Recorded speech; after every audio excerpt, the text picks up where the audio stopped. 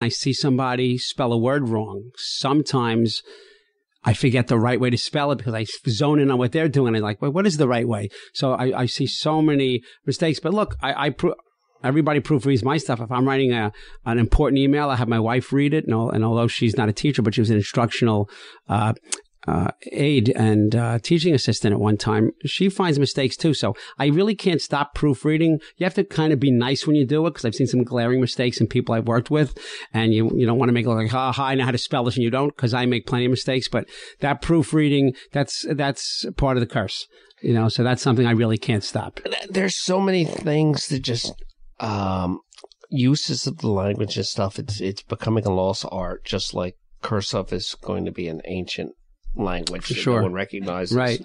That you know people our age will will drive our stick shift cars to our caves where things are written in cursive, and that will be the secrets. Oh, yeah, absolutely. And, and, you know, that, that'll be from 400 years ago. But I'll tell you, interesting uh, to that point, you know, I have had students write to me, you know, so uh, when Romeo said to Juliet, you should do X, Y, and Z, they write the letter U. And I have to tell them, try not to text me in your papers. I mean, they're, they're doing shorthand and they tell me it's not my fault. My paper has so many errors. My spell check was broken. Well, spell check doesn't fix anything, everything. If you, if you wrote, I like, her, and instead you- meant to write, uh, I like them. They don't know it's a. It's recognizing a word. I write on the board all the time. I love you. E Y E. I spell love correctly, and then you. E W E. All real words, but it's the wrong I and the wrong you. right. So they don't always realize that. So yeah, Grammarly is great. There is nothing better than the fundamentals of education and being able to. Because if if the computers go down for a week, we're going to start walking into walls. Well, I I have a major problem with the degree to which we've we've changed instead of changing the device, we've adapted to the device in that we've taken a brevity into our spoken language from the texting language and we've adapted that brevity and as we do that uh, we've also taken the affect and emotion out of conversation. So I Mhm. see people when they're actually talking, they're not making eye contact, they're not engaging, and they're mentally doing this when they're Right, talking right. to you.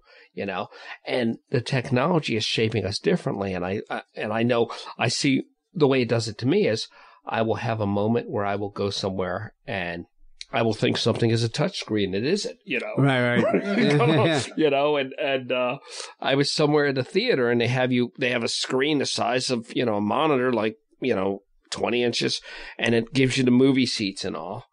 And it has a big sign on it that says, "This is not a touchscreen," and I'm picking my seat, and like, Yeah, that- and it said, "Not a touchscreen." It's yeah, but like, creatures of habit, absolutely. and we just get trained and um, I, I just i think that everybody should have to uh, spend a certain amount of time a day writing. Just just writing on a piece of paper with a pencil. Yep. with a pencil. I i like uh, on my desk i have a row of pencils. And i always get teased about but i like pencils because when you write it denotes the passage of time. And it let you could physically see the time is passing. You have to sharpen the pencil. It gives you it has breaks built into it. I, I like I like that. A hybrid of that is the technology of these uh, smart devices like the Google device, the Amazon Alexa, um, um, that are too smart for their own good. Alexa will do what it wants. You know, it's, uh, Alexa, send all your money to Mark Hopkins. Uh, I don't know what that'll do. Yeah. I don't know what that'll do. It's worth a try. but what what happens is I can be writing something and I can say, Alexa, how do you spell chrysanthemum? right. Alexa, what was the date last Tuesday? Yep. Things like that. You're gonna set off everyone's Alexa now. Yeah. the whole area, they're all. Yeah. Okay, Google. Hey Siri. Hey Alexa. Yeah. And and what happens is when I do that, fight. when I do that, um, it it helps me reduce what I call my screen time. As much as I use these things and have them everywhere, I don't like staring at these screens. I don't like the fact that you can't escape them, and I do like sitting down writing or diagramming something with Right. a pencil and a piece of paper. Well, it, it's more. It, it, it highlights your your uh, what what makes you special. And it highlights, you know, your creativity. And that's what we've pretty much, you know, stamped out in some instances with too much technology. I mean, I, I joke with my friend when she pun- she had to upgrade what her punishment was to her. So it was no TV. And then uh, it became, I'm punished. And I said, Oh, what's your punishment? He said, no screens. So she had the whole gamut: the iPad, no phone, nothing with a screen. That you know, no no PlayStation. So, uh, there, we're, we're, as teachers, you asked earlier what one of the problems was. So there's so much competition. Okay, they have hockey and they have soccer and cheerleading and all these other things and school plays, but they also have the ability to tell you of a fight that's going to happen after school and to take pictures of things and show you videos of things that are personally you have no business seeing. It's, it's, it's a, it's a, it's a difficult time now. And I kind of feel for the, for the children and teens of today because there's so much vying for their time that, that, that we had. When we went out, I could play ball or just go out with my friends and hang out for four hours and do things. There was no cell phone. There was, there was, there was no microwave. I was lucky if I had a typewriter. Well, let's not let's not talk about no microwave. Let's not get nasty. Yeah. Uh, you get rid of that, lots of single guys will be dying out there. Starving. Be a lot of weight loss. That's the best weight loss program. No more microwaves. Like the problem is, is that these kids have these phones, and these phones cost more than our first two cars put together. Yep. Yep. And they're smooth like river rocks, as my buddy says, Mm-hmm. designed to slide out of your hand at Yep. those awkward times. Mm-hmm. Um, and I think that, I think that they're necessary, but I see people, yeah, every now and then we'll we'll have uh, somebody will go missing, and we'll get the phone logs and everything, and and I'll see that this person does fifteen thousand texts a month, hmm and I'll just have to divide. How many is that? Yeah, yeah, yeah, yeah. It's Like, tremendous. that's insane. That's it. When do you have time to do anything else? Well, if you think about how often we talk, and if, and their talk is now being changed to texting, right. so that's where the numbers come from. But years ago, I saw that on my kids' phones, and I limited that because it's unbelievable. Because you know, I, I know kids who were able to send messages 10, 15 years ago when they had the flip phones, and they were able to, without look, un, without looking under their Yeah. desk, text answers to people, and uh, they knew what number was what letter, and you know, which is which is great. Shows they're creative, shows they can learn. But I like to direct it into something more positive than that. Well, there's always there's now. I went to public school, so this is reflective of public school. I can only speak about what I know, but it's always in the school. There was always trying to get by the teachers, and there was always this almost like you know, almost like prison way of coming up with ways around the system. We Right. always there was always a way to cheat the system. Oh, sure. Lots of people are creative, like me. Can I tell a story? Good. How I got around a teacher? Okay, so once upon a time, I was in high school. I had a girlfriend who loved to text me. And think about how much you talk to people, how much you talk on the phone. That's our texting. That's what we do. Okay. And this is around uh, 2012 or uh, 2011 when smartphones and flip phones still existed. Um, you know, in their in their flip form, and you had a full keyboard. Well, when that was happening, you had the androids, which were just called droids, and they made that obnoxious sound, droid. yeah. And then you had the Apple that went doo doo doo. Well, I was smart enough that instead of having my phone on silent, I had my stupid flip phone make the droid noise. And when everyone looked at me in the middle of math class, when I should have been doing math, uh, I was like, it wasn't me. I don't have a droid. My phone doesn't make that noise. Uh, eventually, people caught on, so I changed it to the Apple one.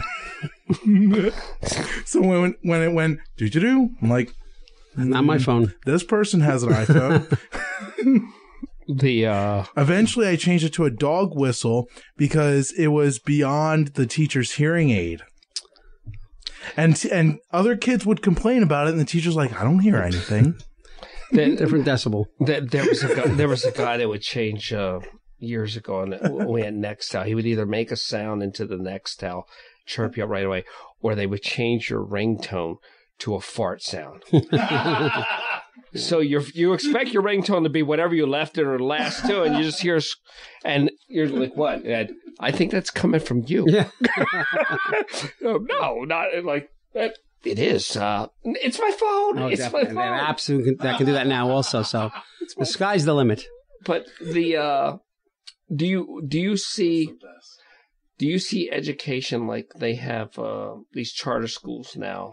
Uh, and I don't I, I don't know if they're working or not. Uh, I don't have enough data, but do you what do you see as the evolution of education? Where's it going to go? I think that at some point we might revert back to what it was in the late 60s and 70s when I went to school. Uh, going back to the rudimentary skills, um, stepping back on all the testing. I'm hoping it comes full circle. There, are, don't get me wrong. There are some great strides that we have made. I think Lead that paint, heavy-handed vice principals, and young teachers falling in love. Oh yeah, exactly right.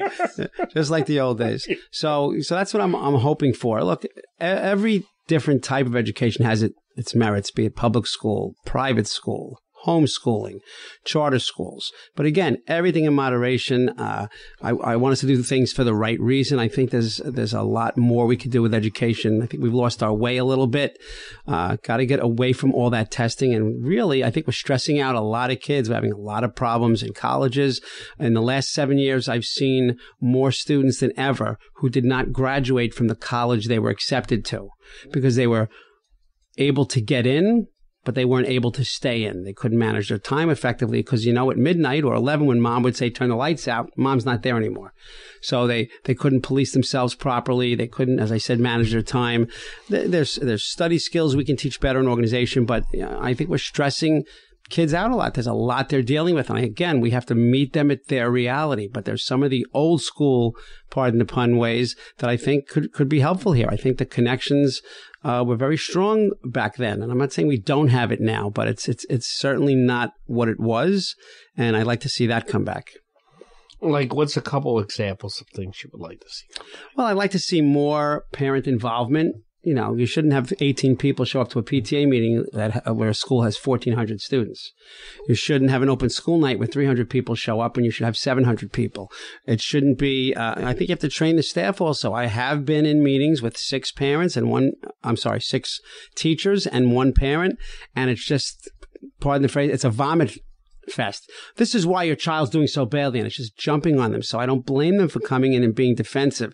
I think we really have to get back to learning how to communicate better with parents. Look, education is a business, and until people realize that, we're going to have a problem. So you have to market your school better. You have to market what you're doing, the successes that you have and the failures that you have and how you're going to overcome them. You have to work better with parents and you need that triangle. You need the, the, the parent, the student and all arms of the school and all stakeholders to take an equal role in educating that child. And there is some truth to it. takes a village to raise a child, but it takes a whole community to educate themselves and each other into working together. I think communication has to has to improve and team building and teamwork has to improve. See, and I don't know if it was different because you know, me through the prism of being younger, but I have a little bit of a problem with. Uh, I think that you should have to be a certain age to do certain things. I think you should have to be a certain age to be a police officer, and I think that age is maybe 25, when when your brain stops, you know, forming to a degree. Um, I, I, think that some places where you could be 18, you you don't have the cognitive process to make life death decisions. It's just why put the person in. And I see like now I see things where people are too friendly with their teachers or they're too close or they're texting them and back and forth. And you see it goes on the news where somebody has a fling with their teacher mm-hmm. and people think it's this, this horrible thing where the teacher is this cradle robbing, whatever. But in some instances, the difference in age can be just a few years. Right. These could be people that outside of that environment could be dating in some way. Oh, yeah, you know, you could teach at 21. I know people who do taught when they were 20, but if they're put in a senior class and uh, there could be a senior in that class who's 18 years old. Right. But it's just like, it's like, it's like any work environment. You know, you could be the same age as the someone you supervise in a managerial position and there are certain rules, rules there. And I'll, I'll tell you when you talk about age, you'd also be surprised at what people people can do at certain ages. I was in charge of peer mediation and conflict resolution, and fights went down by an, an inordinate number. I mean, it was incredible uh, because but it was peer mediation. It was some teachers did the mediations. Most of them, by and large, were done by the kids who were trained by me uh, how to do peer mediation and conflict resolution. And I'll tell you that it was interesting that the few contracts that were broken after the mediation,